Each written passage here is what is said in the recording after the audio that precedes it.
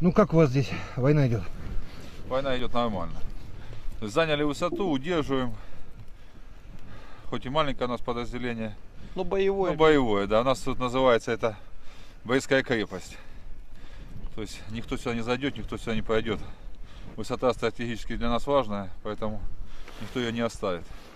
Пускай укропы там говорят, что хотят. То есть мы оставили, она для нас не важна, а теперь пытаются отбить всеми силами. Это все сказочка. Но все это сказки, да. Вы сами видите, какое тут расположение.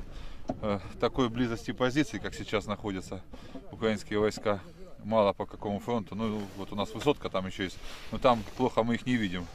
Здесь наше превосходство в том, что мы видим противника, можем по нему тоже работать. То, что артиллерия их не одолбит. Хочу передать привет украинским хлопцам, спасибо работящим. Пиздатые сделали нам блиндажи.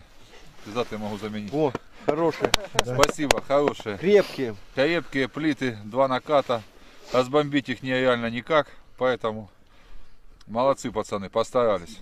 Обживаем. Взяли мы его, э, этот блокпост, э, благодаря своей хитрости, ну и наглости, скажем так. Это да, это Э, минимум. Потому что, как когда мы его брали, украинские подразделения, думаю, что и к ним идет э, подкрепление и махали нам ручкой, передавая привет. Ну а мы зашли и начали их долбить, они даже не ожидали. Поэтому это в нашем стиле, в стиле хулиганов. Ну, Одернули спортивные костюмы и пошли в атаку. Супер. Как видите, техника, снимали, не знаю, Да, сняли. техника набитая, э, очень много. Тут наша уже тут стоят наши два танчика. Но за 4 дня боевых действий, которые здесь происходят, все грады, которые они пускают по нам, попадают по своей технике. Как это не парадоксально. Ага. То есть наши танки э, не, не побитые, ничего. А их зушка уже 4 града туда попала.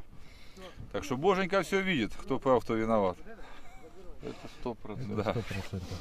И ни одного 300 ни одного 200 нет у нас. Ну, слава богу, так, чтоб так Слава было, Богу, да, слава Богу. Поэтому мы держимся. И пускай эти политики, те, которые говорят, там мы его освободим, мы займем 32-й. Обломайтесь, пацаны, хуй вы что возьмете. Это наша земля, и за эту землю мы будем бороться до конца. А если вы не хотите по-хорошему освободить наши области, мы пойдем на ваши области. На Харьков, на Полтаву, на Киев. И вы, сука, будете висеть, висеть. Точинов, Яценюк, Порошенко на Майдане, на вашем любимом, на площади. Это говорит вам комбат. А все-таки я словами не разбрасываюсь. Спасибо. Это сто процентов. Спасибо. Слава Малоросс.